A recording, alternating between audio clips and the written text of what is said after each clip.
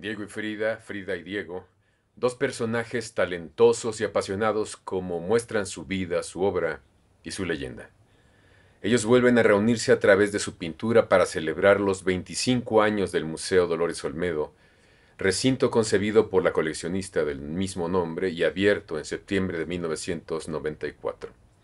Este museo ubicado en la Noria de Xochimilco concentra las más grandes colecciones de estos dos pintores que se han convertido en símbolo de lo mexicano. Diego y Frida, 25 años en el Olmedo, es una exposición integrada por 27 cuadros de Diego Rivera y 20 de Frida Kahlo, que nos permiten apreciar las sutiles coincidencias plásticas de estos artistas. A los retratos se agregan temáticas que los pintores compartieron a su paso por Estados Unidos, naturalezas muertas, la mexicanidad y la imposibilidad para la maternidad de Frida.